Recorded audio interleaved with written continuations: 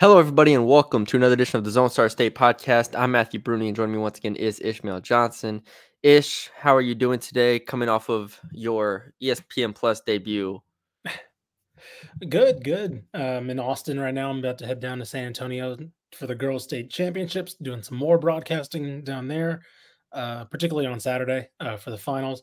But it was cool, man. Uh, College Park Center is a great venue. The, the crew there was awesome. Um, I haven't done that was like my first like TV crew mm-hmm. in like five years, you know, working with. So it's it was interesting trying to talk to producers in your ear and like have them kind of talk. So it's a different setup than I'm used to, but it was a lot of fun, man. Um, it was a good game too. It helped, and yeah, um, it was it was fun. It was fun.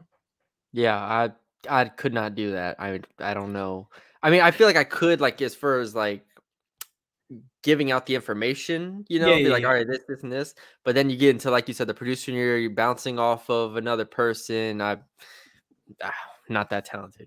It helps that, uh, uh, shout out James Tridley, who's done some games for us on Texan Live. Um, he's really good. You know, he, mm-hmm. he he's uh, one of the best young broadcasters out there right now. Um, it helps. He's very good, and he's he's he's easy, he's easy to bounce off of. And so um, once you get the cadence down, because like I, I, I did college radio in in college, um, mm-hmm.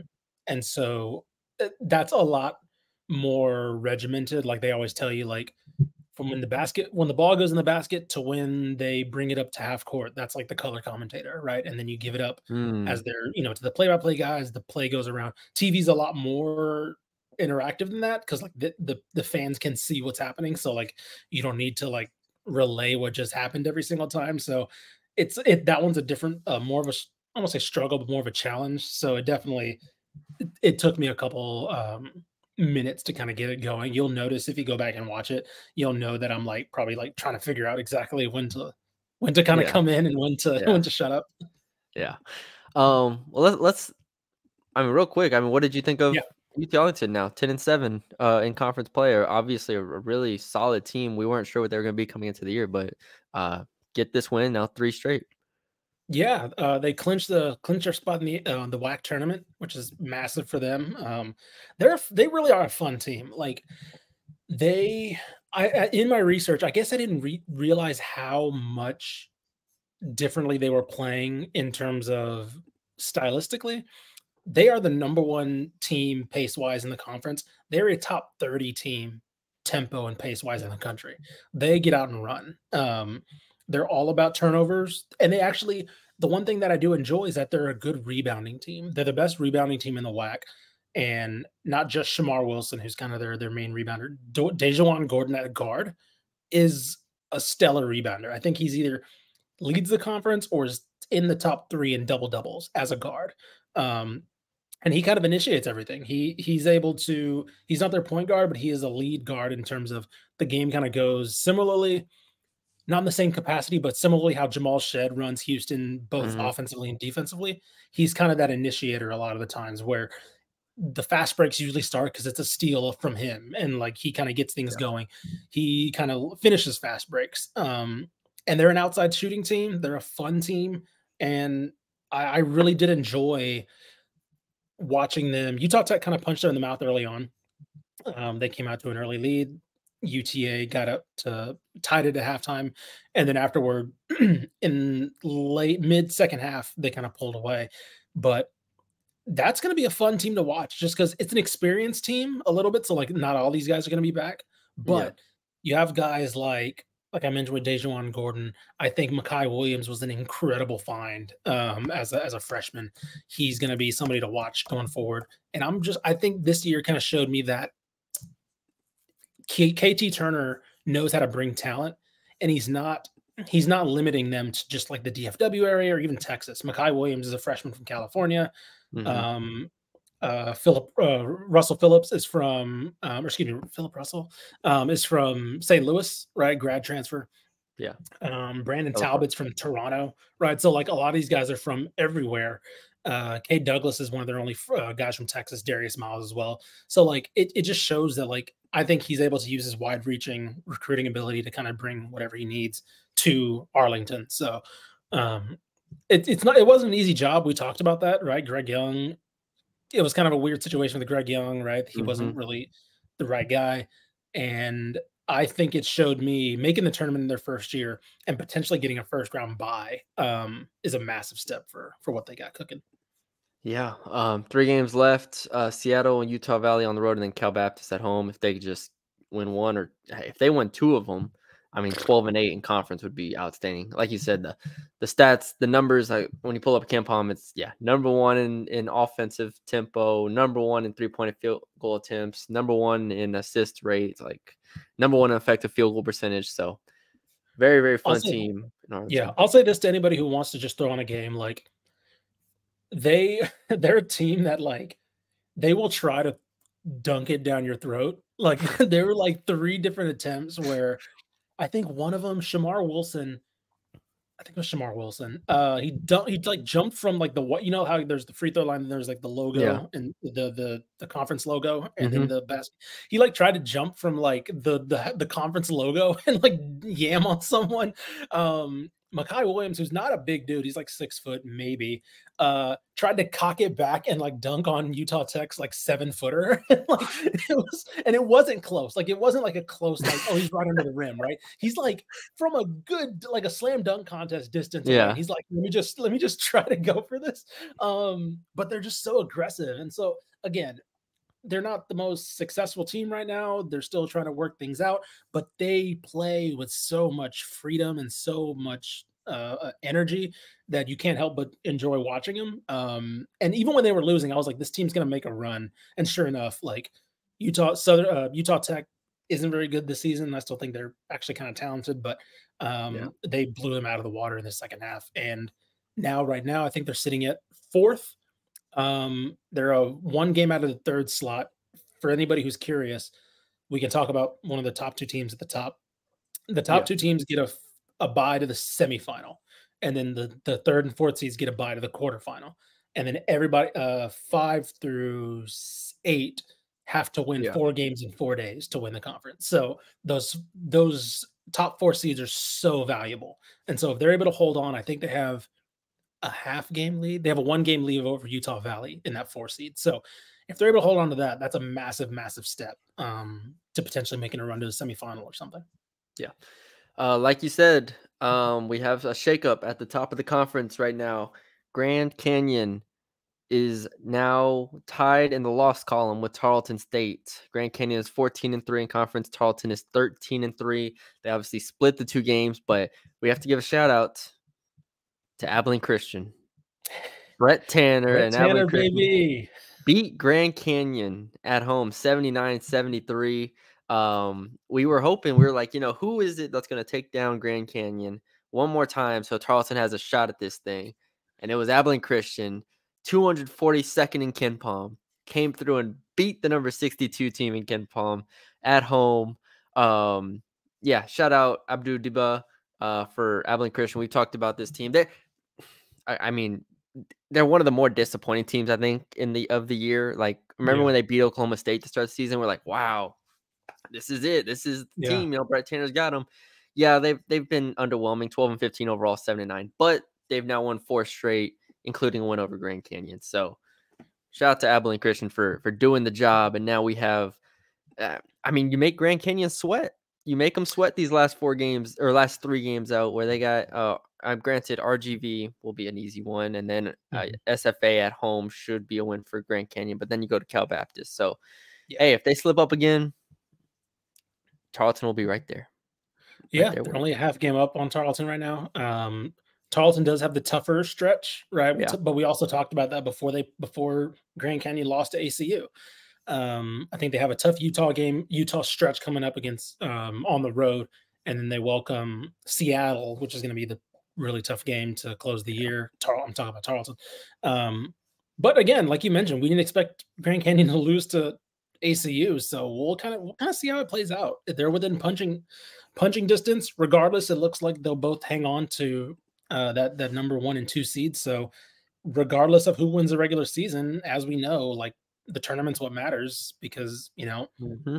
that's what gets the automatic bid, and and so we'll see if uh we'll see who wins the regular season, but it all I mean, these two teams are poised to face each other again in the championship game. Yeah. All right, let's move over to the Big 12. because it was another busy week. But really, I think just from Houston's perspective, this is really where um, it was interesting. Uh, mm-hmm. Houston beat Baylor 82 to 76. Um, also, Baylor, we'll talk about it a little bit more last night. Baylor beat TCU um, by eight, and it wasn't even that close for a lot of the game um, in yeah. Fort Worth. So we can talk about both those results. Houston is now the number one team in the country in the AP poll after uh, UConn lost and um, Purdue, I think, struggled or something like that. But yeah, Houston over Baylor in, in overtime, 82 to 76. I thought um, this was like the LJ Cryer comeback game, obviously, right? We talked about mm-hmm. how much mm-hmm. he struggled, and I should have just you know taken the over on whatever his point was because we knew he was going to come out and try to beat Baylor, uh, getting booed every time he touched the ball, ends the game with 15 points. Um, still, you know, I I did this doesn't answer really any of my questions, but it was at least good to see him make shots because that's all this team needs him to do is make shots. Yeah. I was about to say like that's it really is because you you look at what um how they're able to beat Baylor, and it was kind of how they built out that early lead, right? Um, they didn't finish the game very strong, but that strong start was good enough to kind yep. of make Baylor play catch up. Um, they really, I think it was like what, like 15 to 2 or so. It was some early, some crazy early start for them. Um, yeah. and so Baylor was playing catch up the whole time. And that's an advantageous advantageous position because then you even if the offense stalls out for Houston, they still got to score on the other end, right? And Baylor was able to, but that's Baylor. That's one of the best offenses in the country. That's not a luxury that's going to be given to any other team, um, most teams even. And so it didn't really. Uh, I think it really proved to me that like Houston's defense is getting back to that we're just this good level, right? Um, that they kind of I don't want to say lost, but kind of took a little bit of a ding after the loss to Kansas. Um, they're getting back to that we're just that much better than you level of stinginess. And so even when Baylor was able to work their way back into it, at least it, it appeared to me when that game went into overtime, it appeared to me that like Baylor kind of exhausted everything just getting back into the game. Yeah. And then by the time overtime came around, mm-hmm. Houston was like, all right, cool. Like now we can kind of, you know, they're kind of tired right? They've been yeah. they've been going at us for this whole time, and we they're now we're conditioned for this, right? Because how we play on both ends of the floor. And I don't want to say Baylor's not conditioned, but just Baylor. I think Baylor just gave it all trying to get back into the game. Yeah. That by the time we got to overtime, they were drained. Yeah, and Yves Missi has a free throw to essentially win the game. I mean, to take a one yeah. point lead with three seconds left, and he misses it, and Jamal Shead comes down and hits hits a three to win it. But it's I was about to say, looked like it, man. That was close is on his fingertips and uh, doesn't end up counting. So we go to overtime. Um, J'Wan Roberts, though, like there were two standout players in this game, and yeah, jo- J'Wan Roberts ends the game 17 points, eight rebounds, four assists, three blocks, and six steals. Like in in 40 minutes, was, obviously. He, uh, he frustrated. He Yves Missi was frustrated in that first the first half of the first half. Like J'Wan Roberts had him in his pocket the entire that entire. I mean, period. the entire game. I mean, Yves Missi ends the game with two points. Those are those only two points. That's a good point. Yeah, he did only score those two. Right. Wow. Two points. I mean, it, it, felt like he was in the play a lot, but like yeah. 33 minutes, two points. This was a masterclass by not only uh, J'Wan Roberts, but I think Ja'Vier Francis was tremendous too in his 22 minutes. Like he was kind of everywhere um, as well. I I like Tugler obviously. Like the front mm-hmm. court, it's amazing how much I we've come around on the front court of this team, uh, even with you know Arceneaux leaving um, or I'm sorry, getting injured. Um, but like I have no more questions about the front court. They seemingly shut down everyone they play. It's like Dickinson, Missi. It just doesn't matter what you have. Houston just takes it away. I think I underestimated the steps that J'Wan Roberts was going to take offensively. Um, yeah, because there were points he's so comfortable with his back to the basket now, and like there were some like the fact that they're able to throw it to him and say, "Yeah, just go at Missi." And it was like, "Oh, okay, he's just gonna do that, right? He's gonna get a little jump hook, boom, over the." And it's like he didn't have that last year, you know. Like there were some things that I underestimated about this this this front court for sure. Size, obviously, size is one of them. That's always going to be something every year with Houston, but I think their conditioning I completely underestimated because, like you mentioned, you named three players and guess what? That's their front court. Like that's just that's just it, right? They rotate those guys. Sometimes it's one, sometimes two, and that's it, right? Uh, and man, they're able to even with just Roberts and Francis, that defensive front court right there, even not even throwing in Tugler, like that's the best yeah. in the country. The the tandem right there. Not only is that their front court, but those are like the only players over six three on the court at all times. like we got six one Cryer, six one Shead, you know, six three Sharp. I mean, Dunn is listed at six five. I don't, I, I don't. When I watch him, I don't feel like he's six five, but sure. Um, yeah. yeah, Houston is awesome. And then we get to the other J. Go ahead. Sorry. I was gonna say like it, it, it really it's really frustrating to me that uh Zach Edey's back because he's just gonna win Player of the Year again, even though yeah. Jamal Shead should be firmly in that conversation. Um, I believe KenPom has him in that conversation, but it's it's numbers wise, everything like it's going to be Zach Edey again. Um, and there's also history. Like he'll be, I think he's going to become the first back to back since Ralph Sampson. And so like there's some big history there potentially with him, but it's like I don't know, man. It feels like people are really underestimating the the two way season that like somebody like Jamal Shead is having. Yeah. Um, and then on the Baylor side, Ja'Kobe Walter has become the best player on the team. Yes. Flat out. I I don't know what guy. lock top 10 pick, everything for me. Scores 23 points against Houston, 5 of 10 uh, from three.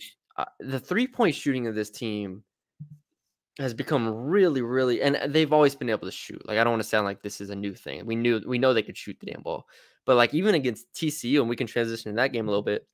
Mm-hmm. Jalen Bridges comes out and hits goes three for three or four, no four for four to start the game. And so now you have Walter, you have Bridges, and I obviously we know Dennis is capable and Nunn is capable, and so the three point shooting of this team immediately makes them a dangerous offense. And once Yves Missi can get going, like he had 16 points against TCU on 609 shooting, much better matchup for him. You have the inside out presence. You have Ray J. Dennis at point guard with nine assists. I mean, that's what this team kind of is in theory. Like whenever you you you picture them offensively, it's like Walter hitting, Bridges hitting, Dennis point, C inside. Um, Dennis ended with nine points, nine rebounds, nine assists.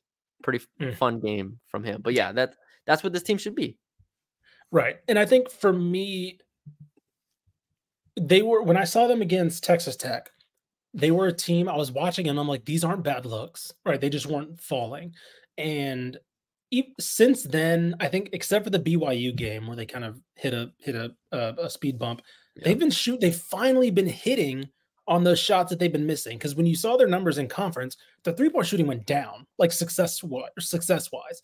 They were they came into the year or came into conference play, I should say, as mm-hmm. one of the best three point shooting teams in the country. But then they kind of hit a wall and kind of became like average. But then since that Texas Tech game, ex- again, except for that BYU and I think maybe Kansas, every against Houston, against TCU, against Oklahoma, like they've been hitting again. And I mean, for them, like I wouldn't be sure. Again, tournament time's weird, right? All these teams are getting in the tur- in, in the NCAA tournament. Big 12 tournament wise, I don't know who I'd pick in a one off in this tournament, right? Like Baylor could theoretically win the Big 12 conference uh, in the tournament. And so because of now they're hitting from three, right? BYU is another team where it's like I probably could see them catching hot. I would love to see BYU play Houston again because I do think like BYU's played a lot better since then. Uh, Houston ran them off the paint that one time, so I would love to see that matchup again. But like, I don't know what to think about BYU right now heading into the tournament. But Baylor hitting like we see teams that shoot this well catch teams off guard in one-off scenarios.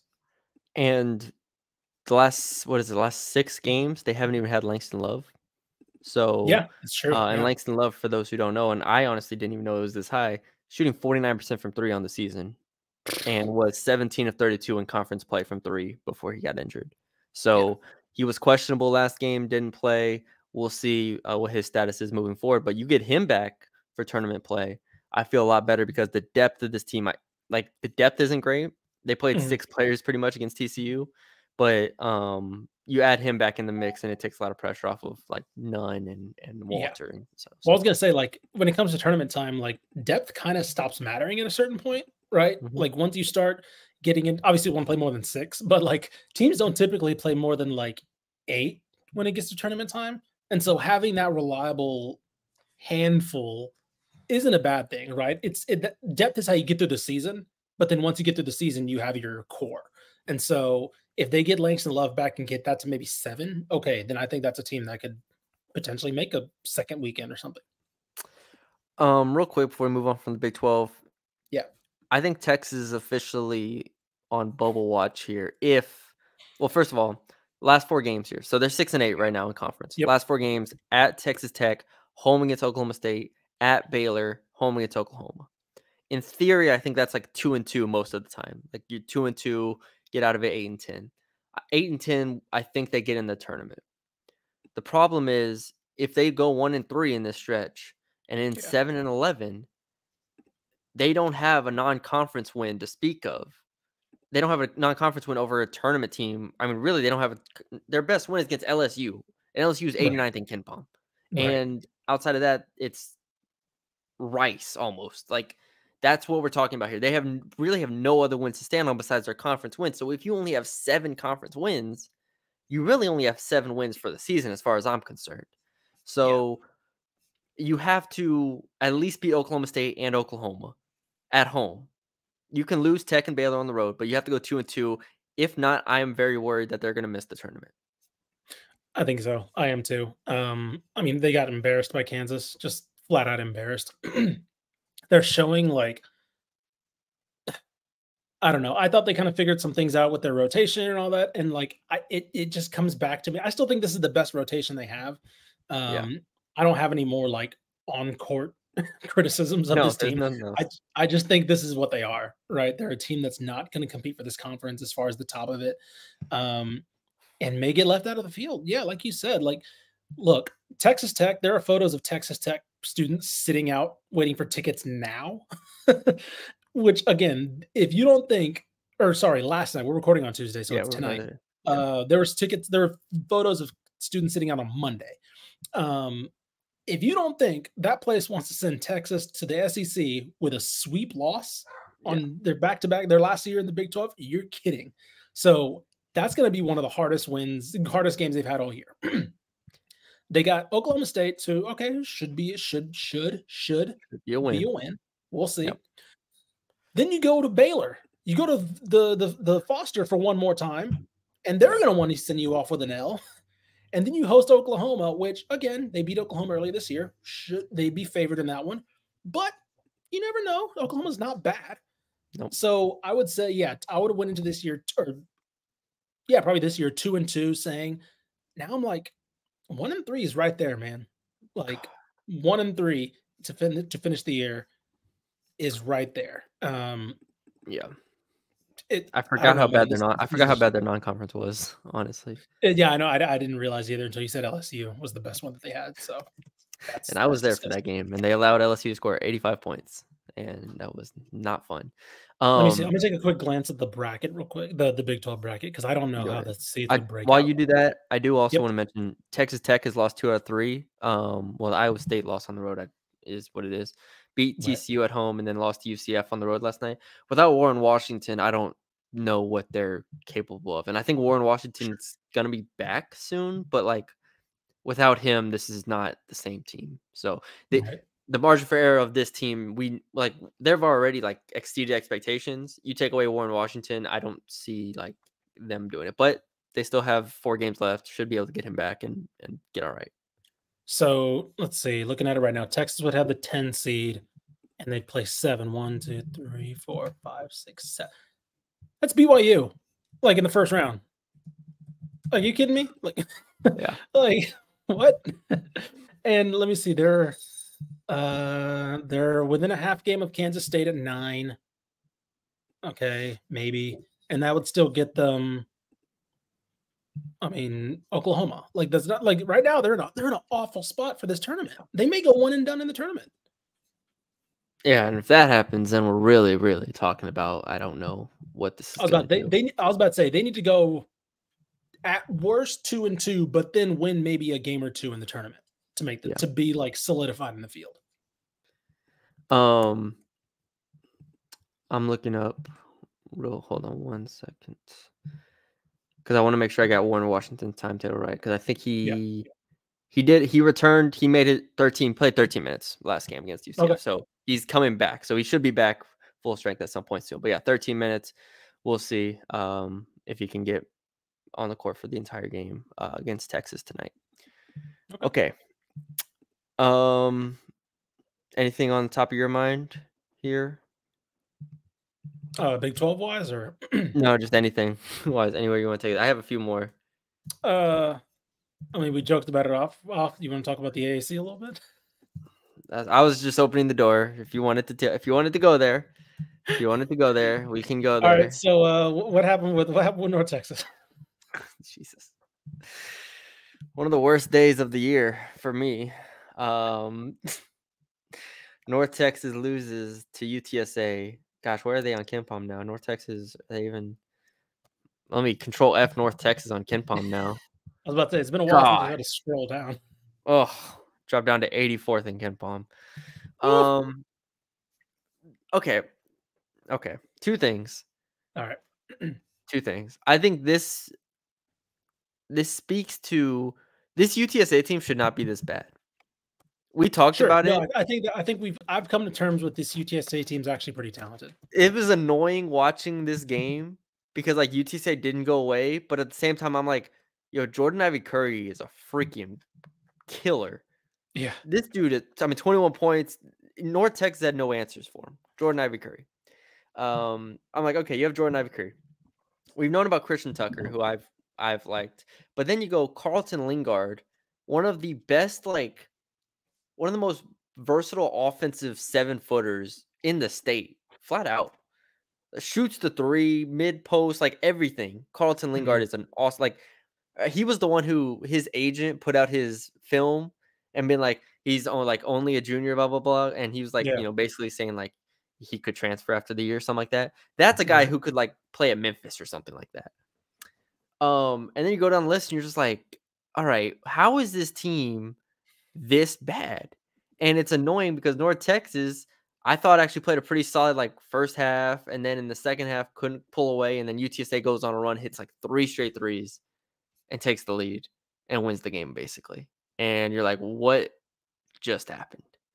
And um, I mean, I think it is an indictment on North Texas. They had Rubin and, and now Rubin Jones and CJ Nolan, two as the guards who they've been without basically the entire conference, uh, made their return for this game. And mm-hmm. in theory, that's great. Uh, but also, it was very clear like figuring out how to play with two players, like basically you're starting backcourt back. Yeah. Is a different, like, you know, it's hard to figure that out. And so John Buggs only attempted one shot. Like this, it's this, the staggering was off. And so, um, no excuses though. It's a bad loss for North Texas. I, as a North Texas fan, am very annoyed. I had to listen to my dad call me and get on me about because he's a UTSA grad. For those who don't know, oh, okay. UTSA grad, and he just was like, "Yeah, what happened? I thought this was the one sport y'all could beat us in." Da da da da da. And so, anyways, Damn, he also, yeah, yeah, he also, I mean, when the women's team beat North Texas, he also was, was like, "Oh, this is three zero this year." Yeah, Yes, yes, it is. Ooh.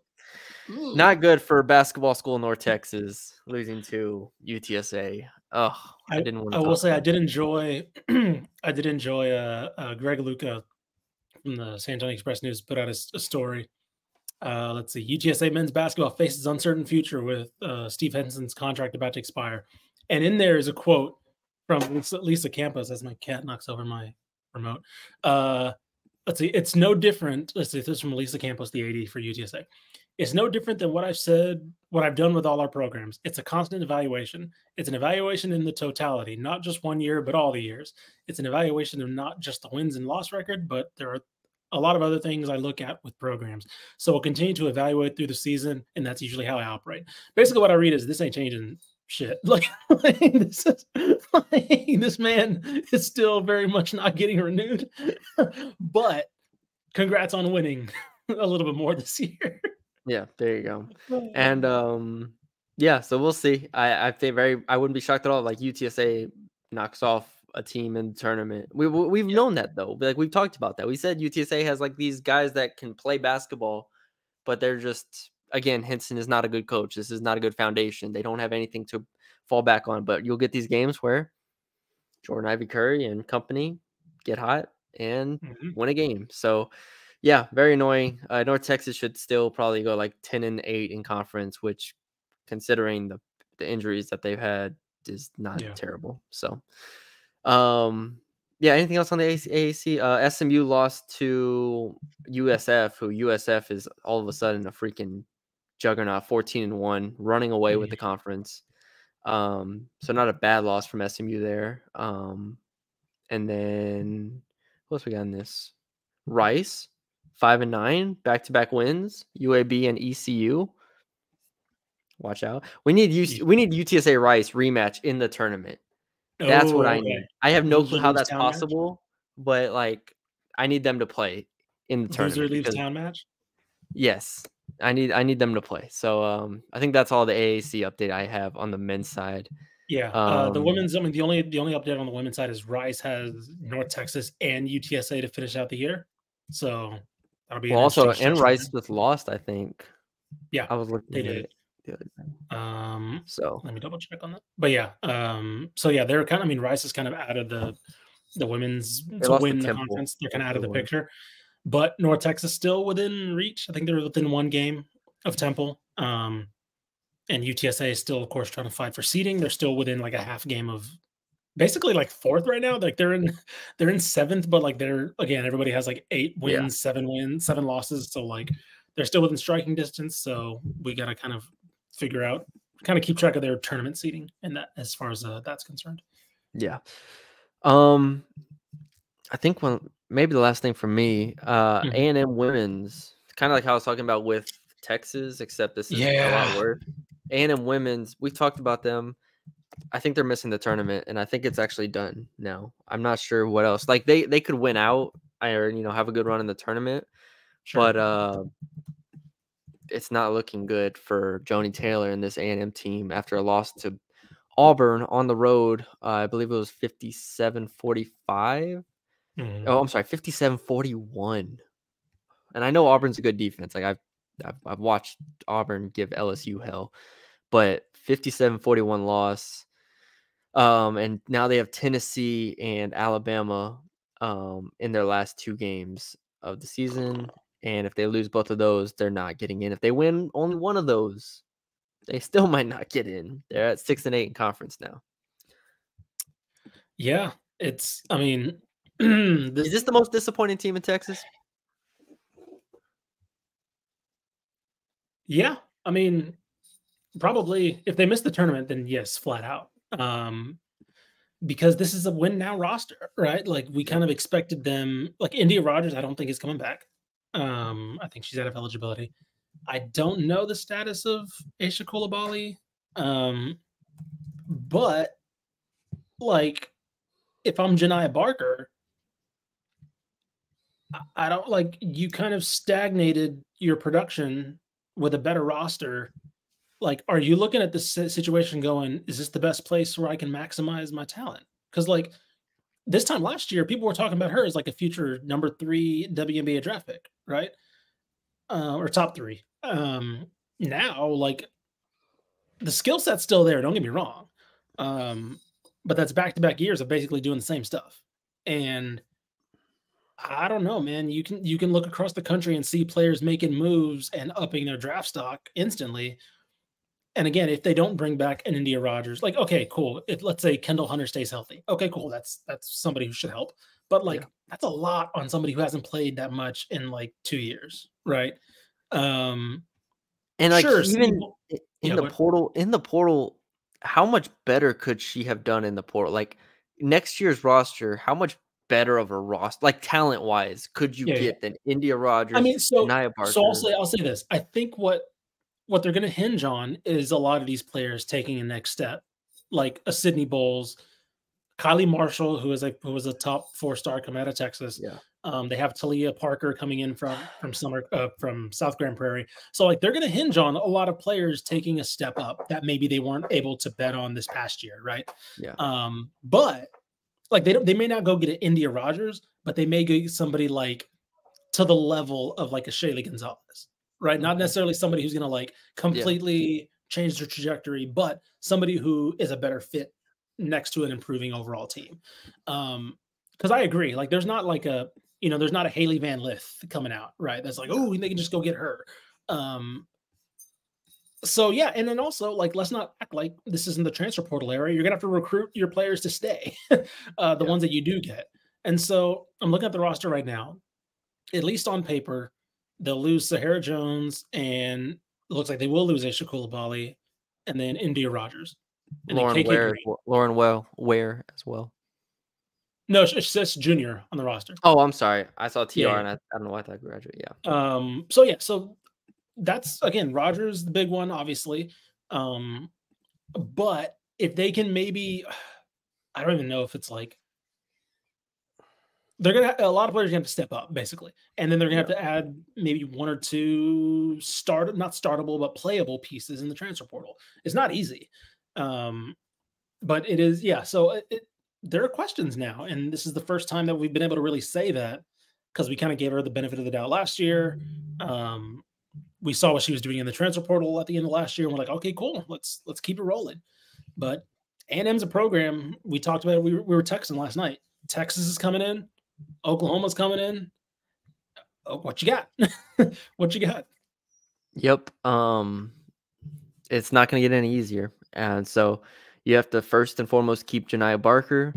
Um, like you said, I think Barker at this point, I mean, she was recruited by Joni Taylor and she like knows Joni Taylor really well. Like this isn't a situation yeah. where Taylor like inherited her and there's right. like there's a built up trust there. So I think she could stay, but like I'm just I don't know. I think Barker could use different coaching to a degree, like a different style of coach maybe.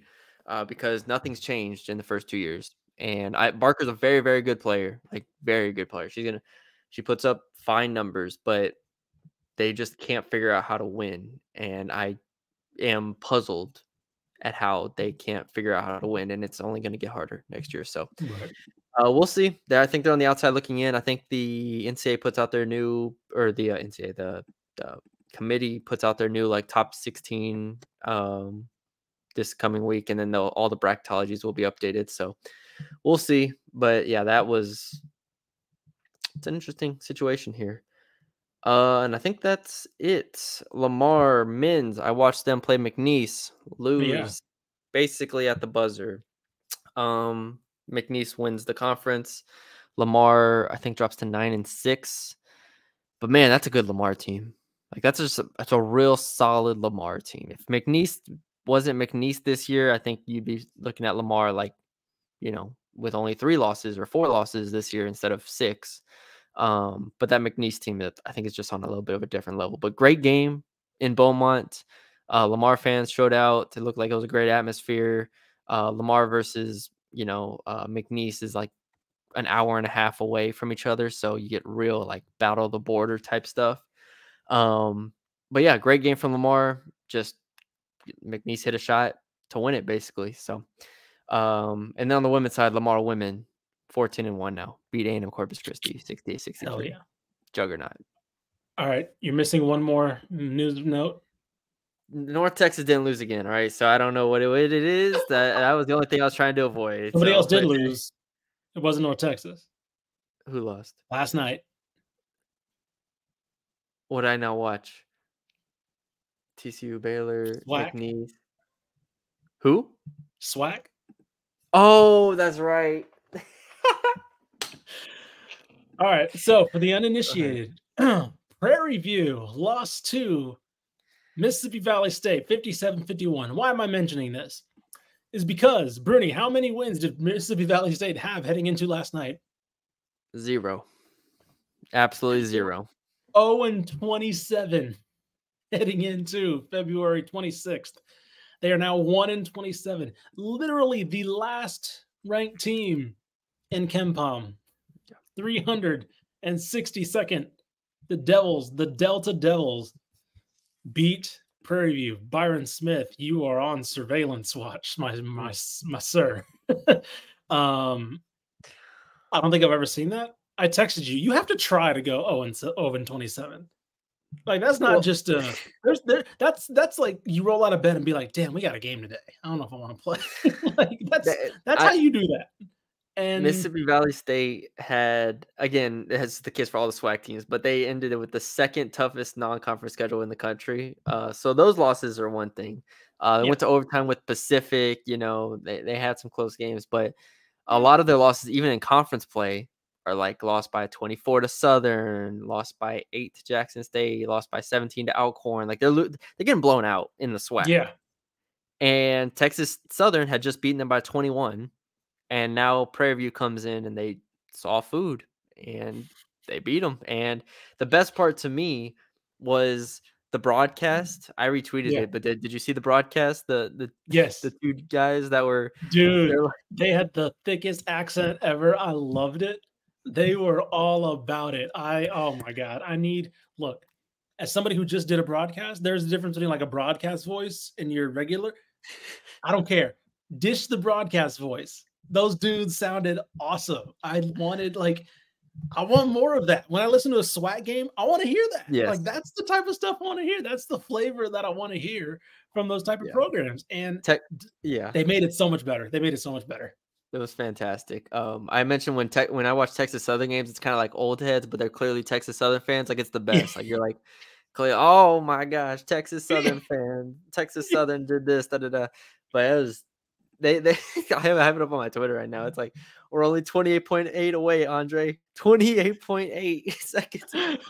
they wanted that win so bad, they, especially for like they they they saw some bad basketball this year, man. Imagine. And they got to come out every single game and act like they weren't winless on the season like it looked like oh. they were about to cry on the broadcast, and I respect it so much because they were like, right. "This is it. This is this is gonna be go down in history right here, man." And then they stormed the court afterwards. I was about to say they actually had like a decent crowd for a winless team. That was the craziest part. it was fantastic. So this that's what college basketball is all about, man. Just get oh, some yeah. Mississippi Valley State a win, but Prairie View we didn't forget about you. All right, that's unacceptable. You ain't escape. I was about to say you ain't escaping no, that. you're not getting out of here. All right. But shout out to Mississippi Valley State um, for getting their first win of the year. And that's it. Now yep, we are done. now we are done. Um, Texas Southern is doing well, ten and five in conference. For those wondering, Johnny Jones time. Yeah, so it's, it's Johnny Jones just got out the rocking chair. all right. It's the yes, the lean up. It's the gaming, the gaming yeah. meme where you lean up in your seat. It's like all right. Yeah. Went in his closet. Said, "All right, my suits are all still here from the last ten years. all right, let's do this thing." And they've won three straight now, and they got Jackson State, Alcorn, and Prairie View as the last three. So should be they're hitting their stride, hit, yeah. hitting their stride. And all right, that's all we got for y'all today.